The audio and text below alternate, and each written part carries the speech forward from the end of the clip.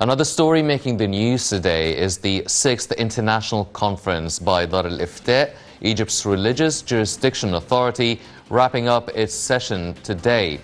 The two day conference is held under the auspices of President Abdel Fattah al Sisi and under the umbrella of the General Secretariat for Fatwa Authorities Worldwide.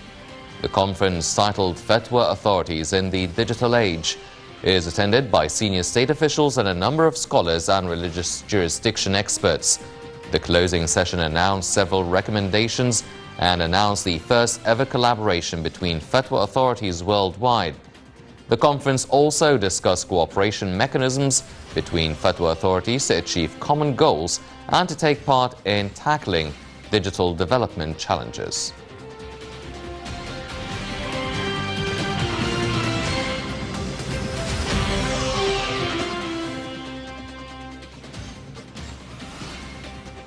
These were a couple of the stories making the news today, but now turning our attention to our main topic tonight, which is uh, Egypt reaffirming its position among the Afro-Asian countries. Let's check out this report and we'll be right back.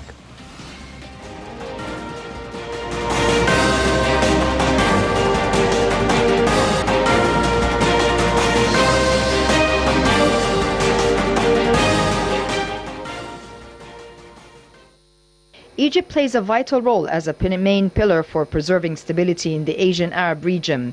In this respect, the country is exerting sincere and tireless efforts to mobilize international support for Lebanon at all levels in light of the continuity of hard challenges the Lebanese people are facing, especially at the political and economic levels. Within the framework of the firm historic relations linking the two countries, which are based on solidarity and brotherhood, President Abdel Fattah el-Sisi has affirmed Egypt's support to the political path of Lebanon, aiming to restore stability in the country and tackle current challenges. The president highlighted the need for concentrated endeavors to settle any disputes in terms of government formation's efforts in order to get Lebanon out of the current state it is suffering from. This comes through setting priorities in Lebanon's national interests in a way that preserve the resources of the Lebanese people and their national unity. President Sisi voiced Egypt's keenness on the safety, security and stability of Lebanon and the Lebanese national interests as he received in Cairo the Lebanese Army Commander General Joseph Aoun. El-Sisi expressed Egypt's appreciation of its firm relations with Lebanon on the official and popular levels and hailed the principal role of the National Lebanese Army has carried out to protect the stability and balance in Lebanon. For his part, the Lebanese army commander conveyed greetings of Lebanon's President Michel Aoun to President Sisi, stressing Lebanon's keenness to enhance its firm historic relations, gathering both countries and expressing appreciation to Egyptian efforts to support Lebanon in all fields. The meeting tackled means to enhance bilateral cooperation framework and benefit from the Egyptian experience in many fields. During his meeting with Jordanian Deputy Prime Minister and Minister of Foreign Affairs and expatriates Ayman Safadi in Cairo, President Sisi voiced Egypt's keenness on boosting relations with Jordan at the economic and commercial levels to serve interests of the Egyptian and Jordanian people. He lauded efforts exerted by the Jordanian government to provide all possible support for the Egyptian community. For his part, Safadi expressed Jordan's keenness to make use of Egypt's expertise in the field of development projects in light of the mega national projects being established in the country. They emphasized the need for strengthening economic relations and increasing trade exchange between the two countries in the coming period, in addition to promoting mutual cooperation to combat the coronavirus pandemic. They also called for building on the outcome of the last summit held in Baghdad last June between Egypt, Iraq, and Jordan to take serious measures to increase aspects of coordination among the three countries, especially in the fields of energy, electricity, and industrial complexes. The two sides also tackled the situation in Lebanon, Syria, and Libya, as well as the latest developments in the Middle East peace process. Safadi praised the tireless efforts exerted by Egypt to consolidate the ceasefire between the Israelis and Palestinians, as well as the Egyptian initiative to build the Gaza Strip. The two sides also expressed the need for intensifying international efforts aimed at resuming negotiations to settle the Palestinian crisis based on the resolutions of international legitimacy. They affirmed intensifying efforts at the international level to establish the peace process and resume negotiations to settle the Palestinian crisis based on the international legitimacy resolutions. Sisi voiced aspiration to enhance bilateral relations in a way that contributes to achieving interests of both countries and people, especially at the economic and commercial levels. Cairo has been in constant contact in an effort to stop the hostilities, as the country played a critical role in brokering a ceasefire between Israel and Hamas in Gaza. Intelligence Chief Abbas Kamel and Foreign Minister Sameh Shoukry began their mediation efforts with the Palestinian group Hamas in the opening days of the conflict.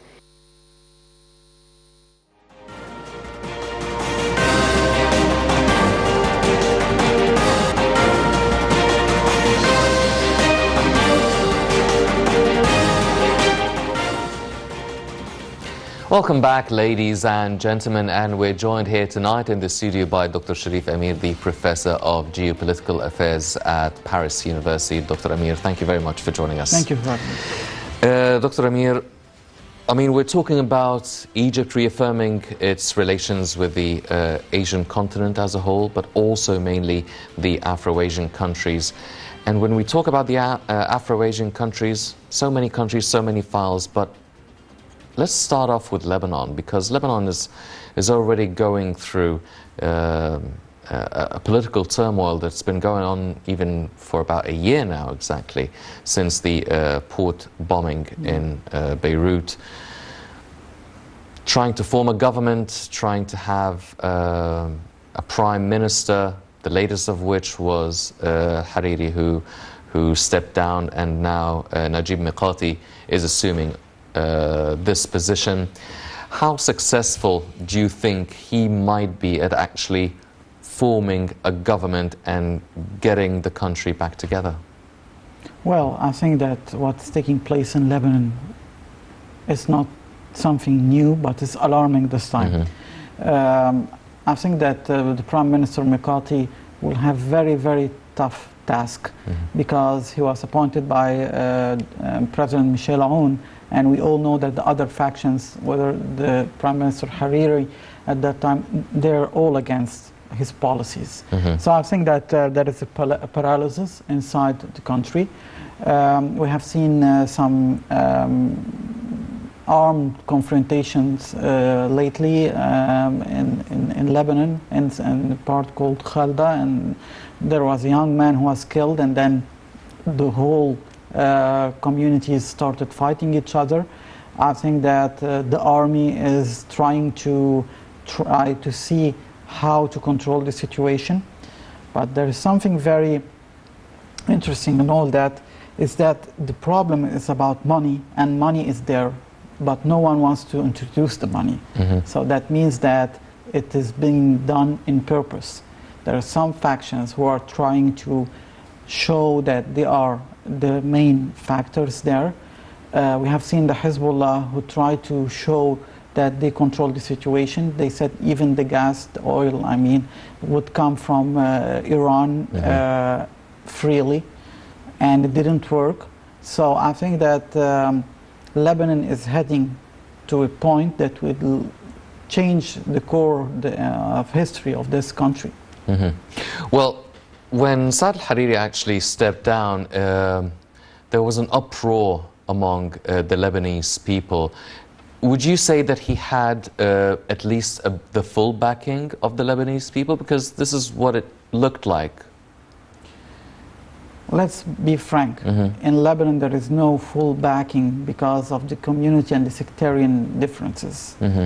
So, so it depends only if some of the uh, factions will say, for example, the Maronites mm-hmm. will say we will stand with Hariri. Mm-hmm. But even though things are not clear because the Hezbollah and the Iranians and even the Greek Orthodox community there mm-hmm. and the mm-hmm. Armenians are siding with this part, with mm-hmm. Hezbollah, siding with Iran. Uh, the other part, it means Saudi Arabia. Mhm. So there is a huge difference between these two parts. Mhm. Lebanon is the, the, the, the- hub of all the interest of outside countries Mhm. since the 1970s. And even when there was Hafez al Assad in Syria and Saddam Hussein in Iraq, and both were from the Ba'ath uh, party, they were fighting each other in Lebanon. So I think that uh, we are um, witnessing a new form of uh, recreation of Lebanon, but we are witnessing the downfall of the structure, the, the infrastructure, because as I said, the solution is there. And as the French said and the EU said, we have the solution, but no one wants to apply it. Why? Since last year, August 4th, Yes. 2020. And imagine that the same port that was destroyed, it, nothing was changed since then. 12 months. We know there was the, the COVID 19 and everything was still, but Mhm. nothing was touched. Everything as is still the scene is, is, is the same. So I think that Lebanon now is trying to uh, figure out how they will find a compromise to separate the communities afterwards because it seems that the problem is the president Mhm. and the president is not willing to leave and I think that the factions or the political parties are not, not willing to give any solutions uh, until he leaves. Yes. Well, what about Najib Mikati then? I mean, he was prime minister twice before. Do you think that a third time lucky can can be uh, an option on the table? I mean, what can he do uh, now that can actually solve the problem? Is it is it still in his hands? Is it it, is it still an option? How was the his his twi- uh, his two terms as prime minister, how were they viewed uh, before that actually gives Michel Aoun um, a confidence, uh, I mean, in Najib Mikati to actually succeed where previous uh, prime minister designates failed? Well, he has experience, Mhm. but in this situation, is experience sufficient? I don't know. Uh, I think that uh, uh, Prime Minister Hariri, the fact that he got the offer and he declined, that means there is something uh, in his intention and in the, in the mind of, of Saudi Arabia also. Uh, it's, uh, let's say it clearly, this is the main confrontation between Iran and Saudi Arabia on the land, on the soil of Lebanon, and even in the in the in the Sunni uh, uh, sector. It means that Najib, Najib Mikati was a Sunni, but he has differences with uh, Rafiq al, uh, with uh, uh, Saad al Hariri. If this will be the um, the solution that mm, President Aoun saw that he will bring someone who has experience will find a solution for the country's crisis. I think that no, Mhm. I won't be uh, uh, that optimistic because from what we have seen the last months, something is wrong inside the country. The, there are many factions who want to, uh, let's say, make the other faction weak. And, I've- and I mean by that to be clear, there is a strong um, chance that Hezbollah could be weakened. And I think that many countries in the region are watching carefully what's going on because once the Hezbollah will be um, pulled into a confrontation inside Lebanon and it has its forces inside Syria, it will be very easy for Israel at, at a certain time to do as they did in the 1980s when they said it was the chaos in Lebanon, we have to go and make the, the call, they called it the Peace of Galilee in 1982 operation, and they went in there. So uh, I think that many countries now are waiting for the Hezbollah to be very, very shaky, and then things will change. So Najib Mikati, um, he has the experience, but he doesn't have the tools this time. Yes. Well, Dr. Amir, you've mentioned that the solution is actually there. The money is actually there. Now, Najib Mikati is, is a media mogul and he's considered one of the richest people of Lebanon, if not the richest, which could mean that it could be an advantage for him making uh, and breaking deals, uh, having the, uh, the business guts in order to, to get in and start taking money out or start putting money in or facilitating and moving the money. I mean, he's not a, a reluctant, maybe a financially reluctant uh, politician. So, and having Lebanon in such um, uh, a dire financial uh, and economic state, does that really uh, give him the, the green light to actually make bold moves and maybe get it back together? Well, um, I, I adopt a theory that politics controls money, not, not money controls politics. Mm-hmm. He could have all the money, but if he has uh, strong uh, opposition, he won't be able to act as he wish. Mm-hmm. Well, he's not Donald Trump of Lebanon, but let's Yeah. say that even Donald Trump Mm-hmm. couldn't manage to have his second term. Yes. So uh, if it's about money, it could be solved very easily like that. But I think that the one who has the money, and let's speak uh, frankly, those who have the money always are guided by interests of those who govern other countries. We all know that uh, everyone who invests in, in, inside Lebanon are even with Saudi Arabia or with Iran. And if they have the green light, the green light was come, would come from outside Lebanon. This is the problem of mm-hmm. Lebanon. Yes. It's not about who has the money and he could find a solution. Mm-hmm. And if he will try to find an independent solution, we have seen what happened to Rafiq al Hariri. Mm-hmm. Okay, well, let's talk about Egypt and Lebanon. They obviously have uh, deeply rooted historic uh, relations. We've seen the, uh, the aid that Egypt has sent uh, right after the, uh, the port explosion on August 4th and also during the coronavirus and all of that. And also, quite recently, President Sisi received the commander of the Lebanese army. Now, where does Egypt stand regarding what's happening in Lebanon? What do they want? What does Egypt want to see? What does Egypt? What can Egypt actually do, if anything, to get them back together and maybe successfully form a government? Well, look, I will uh, look at the situation in the whole region, not only in Lebanon, to explain what's uh, Egypt's position towards Lebanon. There were three points in the, it's a triangle after uh, Donald Trump left the administration, the, the presidency of the United States. Three countries were about to just be changed forever. Jordan, what we have seen was the, the attempt coup of uh, uh, Crown Prince Hamza. Then Tunisia, and we have seen how Qais bin Said acted quickly mm-hmm. before the country would, and Lebanon. Mm-hmm.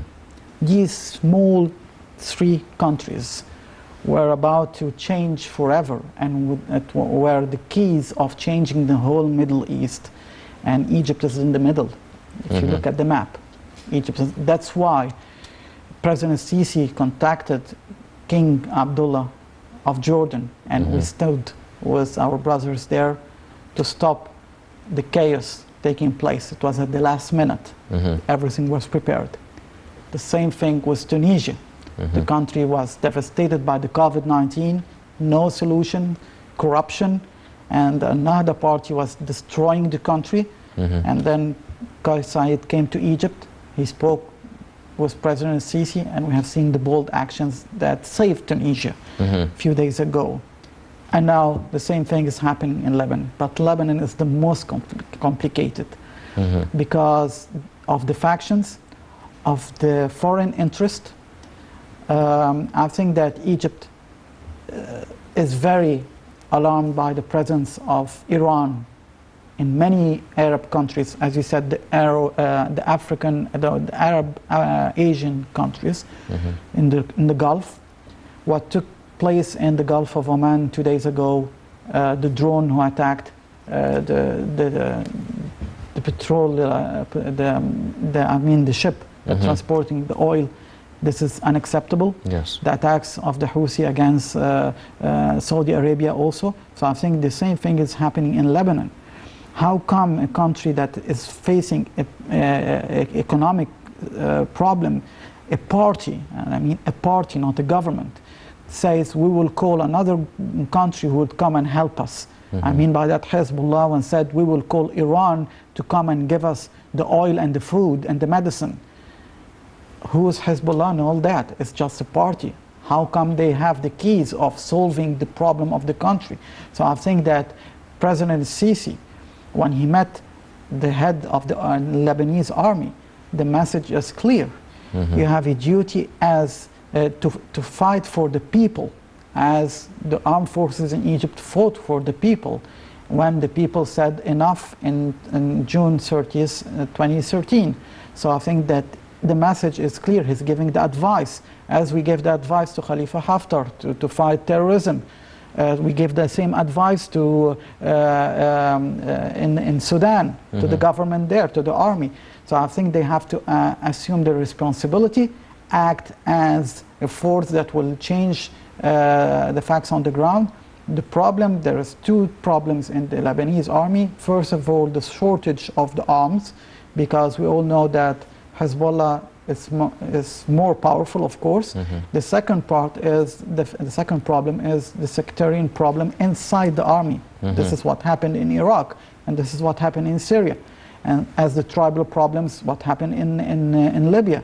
So uh, I think Egypt is trying to, to give a message to the Lebanese people and to the Lebanese state be aware you are in the same zone like Jordan, like Tunisia, and now it's Lebanon and this triangle. So we are working very carefully with them because we have to as, uh, ensure that Lebanon has its sovereignty preserved and that Saudi Arabia and Iran won't be pushed into a confrontation that will destroy the whole country. Yes.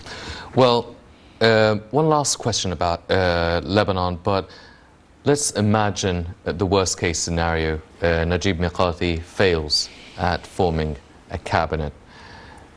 What happens next? Does Michel Aoun assign or appoint another prime minister designate, or do you see maybe the European Union and countries such as France maybe taking a closer step or interfering or trying to change things themselves?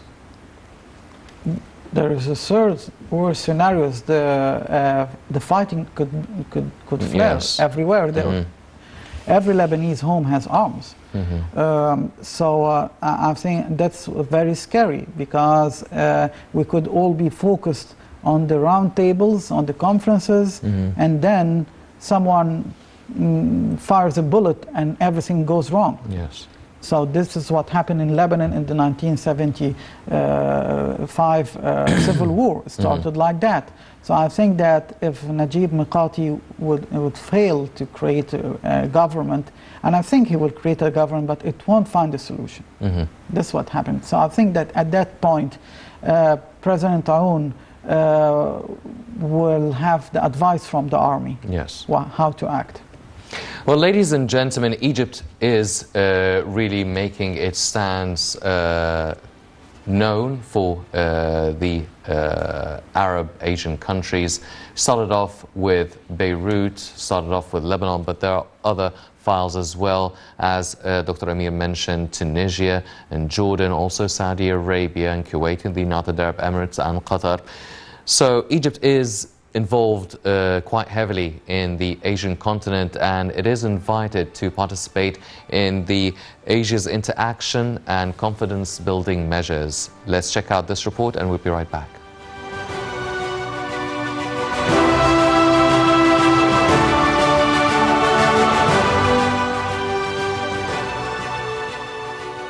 President Abdel Fattah el-Sisi has been rapidly drawing Egypt closer to Russia and China, which have been increasing their presence in the Middle East. Egypt has been strengthening its relations with Russia, especially in the military field. The formation of the Russian footholds in the Mediterranean region in northern Egypt includes the construction of a nuclear power plant in Daba, the construction of an industrial park of Russian companies on the east coast of Port Said. President Sisi has purchased Russian military equipment. Egypt signed an agreement with Russia to purchase 24 Su-35 aircrafts, which was delivered in the beginning of 2021. Russian products are being used in the security sector in Egypt through private companies linked to the military. China's presence in Egypt has also become prominent since President Sisi took office due to China's position as an economic power that does not use human rights as a pretext for political pressure and as an influential member of the international community. Since China agreed to comprehensive strategic partnership with Egypt in December 2014, China's investment in Egypt has picked up momentum with its direct investment increasing by 4.6% year on year in the first half of 2019. China's trade with Egypt in 2019 accounted for only 0.5% of its total exports and less than 0.1% of its total imports. Egypt's trade with China, on the other hand, accounted for 2% of the country's total exports, but 50% of its total imports, making China its largest importer. This relation reflected in the mutual visits of the two leaders. President Abdel Fattah el-Sisi has visited China six times in a total as of June 2021, while President Xi Jinping visited Egypt only once in 2016. Currently, the two sides are strengthening bilateral relations through the implementation of several mega projects by Chinese companies. A prime example is the new administrative capital, which is built 40 kilometers east of Cairo. Chinese companies are now playing a central role in the construction of facilities. They're in cooperation with local companies under the Egyptian military. Chinese companies will also be taking a leading role in the construction of a high speed railway. The railway will connect the Mediterranean coast from Egypt, China, Suez Economic Trades Cooperation Zone along the Gulf of Suez by the administrative capital and New Cairo. The construction of the high-speed railway is expected to further increase China's presence in Egypt. Egypt also enjoys good relations with other Asian countries like North Korea, South Korea, Thailand, India and Pakistan in various domains and at all levels of cooperation, especially the economic one.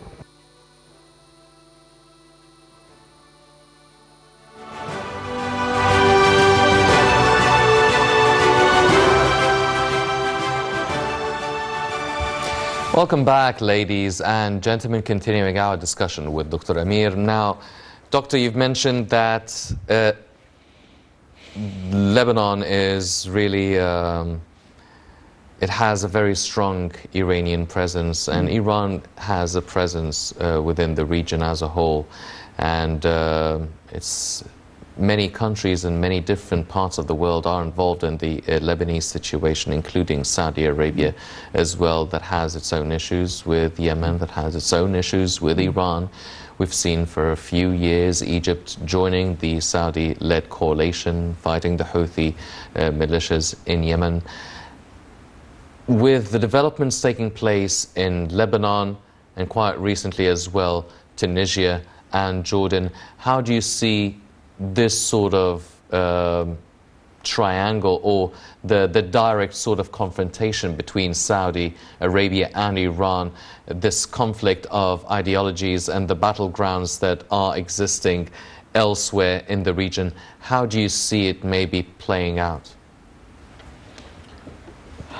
Well, um, I think that, that the American administration of Joe Biden is very confused about how to act and to, to deal with the Iranian problem. Mm-hmm. They want to go fast in the uh, nuclear deal, mm-hmm. and the EU wants that.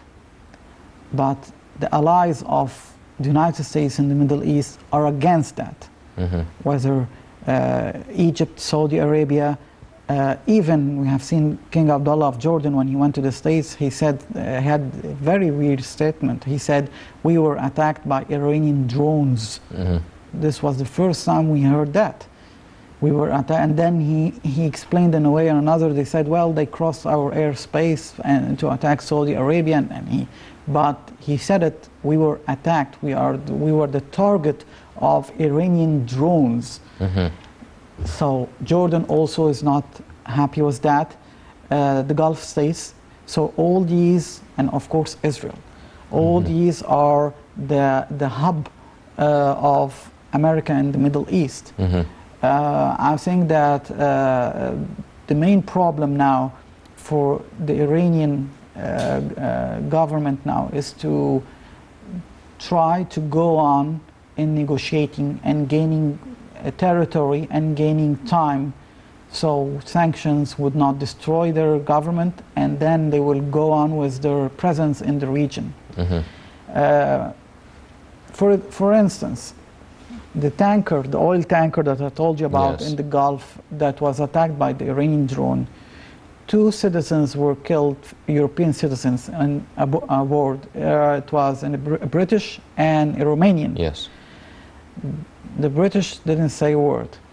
Mhm. The Romanians, since yesterday, are making all their efforts, deploy their efforts to retaliate from Iran.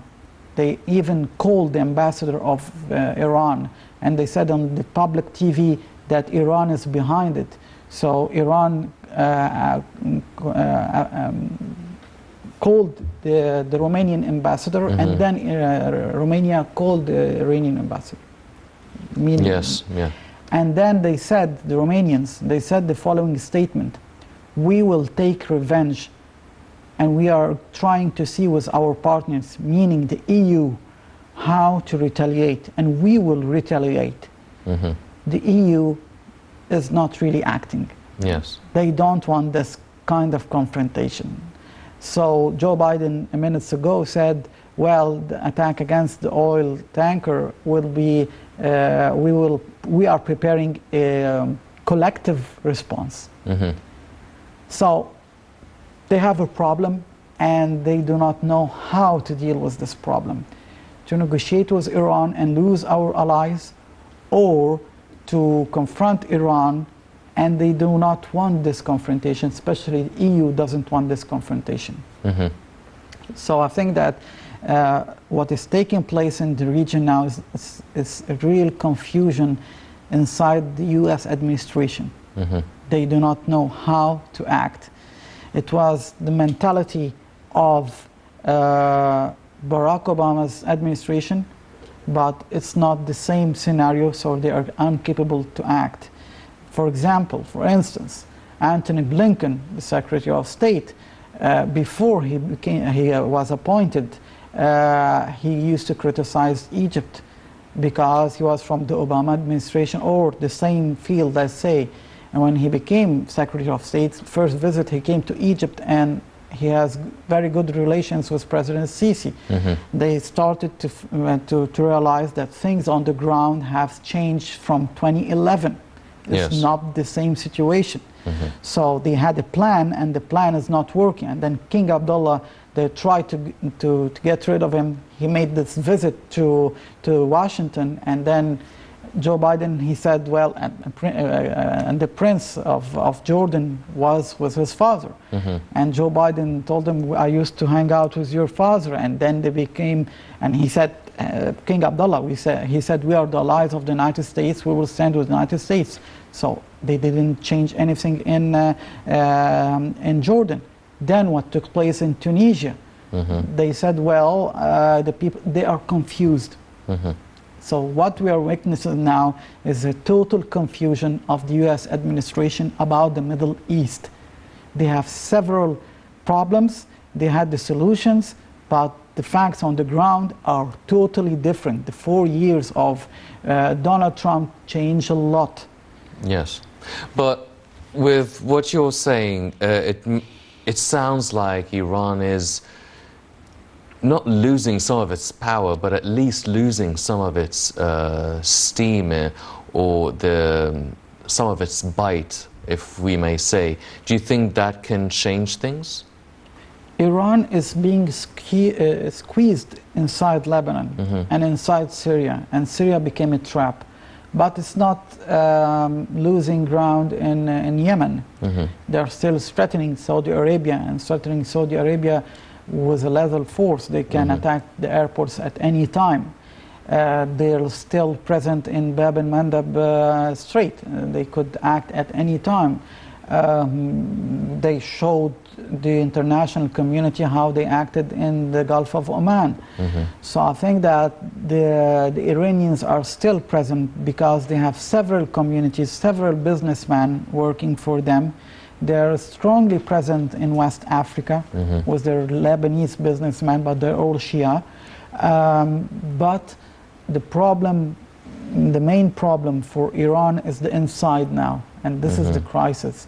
The country isn't that uh, strong economically. Politically, they are trying to act as a democratic country, but it's, uh, it won't be that easy because uh, we have seen things went out of control one, uh, in, in some parts lately and people were killed when they had shortage of electricity, shortage of water. Mm-hmm. Even there was this joke about they had this in, in Tehran uh, square. There was this big clock for the timing of the downfall of Israel, and when the electricity went down, the clock stopped. Mm-hmm. So everything, everyone said, well, uh, we have to restart again counting mm-hmm. for the downfall of Israel. So uh, Iran is, is um, the Iranian regime is facing its own people in the inside. Mm-hmm. Um, they are trying to show the people that we have uh, power everywhere, regional power, but the, but the critics are saying inside Iran, no, you are financing terrorism. You are spending the money that we need for food, for medicine, uh, for, to, to, to stop these sanctions. We are trying to find electricity, water, and you're spending the money on, the, uh, on Hezbollah uh, and, and in Syria. You're funding the Houthis. Uh, you're funding the communities in Bahrain. So uh, they're not happy. Yes. And let's not forget that mainly the Iranian youth and, and a huge number of them they are more Persian in their heart than Islamic uh, souls as the mm-hmm. government. No, they have this thing that they have uh, the Aryan blood and they are Persians.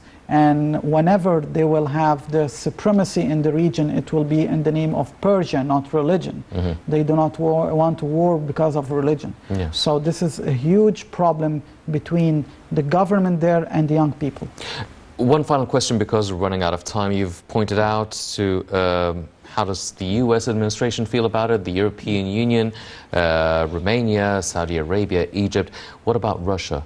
What, where do they stand? I mean, what, what's their say regarding the Iranian situation and maybe their influence on countries such as Lebanon? Well, as we all know, President Putin is watching and smiling.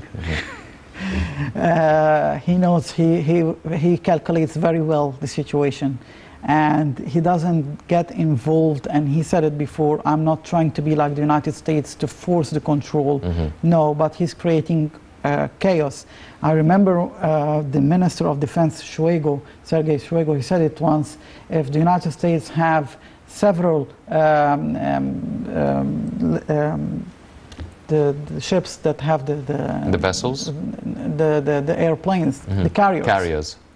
We have the means to, to destroy them. Mm-hmm. It's not necessarily because you have carriers that we will make carriers. Yes. So I think that Russia is very, very clever in this game, controlling the situation. Yes. Well, ladies and gentlemen, as Dr. Amir mentioned, the it is a very uh, complicated situation in the Asian countries, especially the uh, Arab Asian countries, and definitely it needs a lot of diplomacy. And Egypt's diplomacy has uh, never let us down and always uh, proved very successful, very patient, and very wise in dealing similar situations. And hopefully, the same will be uh, for this scenario. Unfortunately, that's all the time we have for this edition of the Daily Debate. But before we go, I'd like to thank my very distinguished guest, Dr. Cherif Amir, the Professor of Geopolitical Affairs at Paris University. Dr. Amir, always a pleasure having you with us. Thank you. Thank you very much, sir. Ladies and gentlemen, please stay tuned for more coming up on Nile International. I'm Henny Saif. Thank you for joining us.